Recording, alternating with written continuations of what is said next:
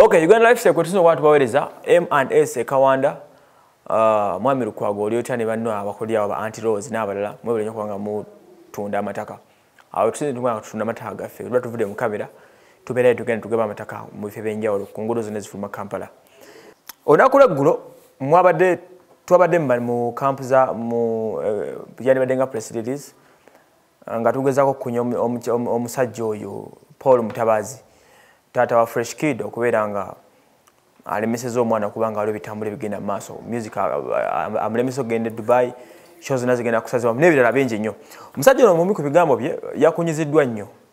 Simanyi webadde awunzeemu webadde ategeeza ki mu statement gye yayogedde. Yageze n'atugamba nti jjukira maama abadde nga amulumiriza nti yabasuulawo ye taata ng'agamba nti abaddengawo okulw'abaana ne famire yaabwe ne famire ye ng'agirabirira. Fresh kid n'emyaka musanvu. Sibe guli naye yatugambye nti amaze emyaka kumi na munaana ng'alabirira abaana ne fresh kid waako you know. Kakati talina kyatamanyi kulabirira mwana ono.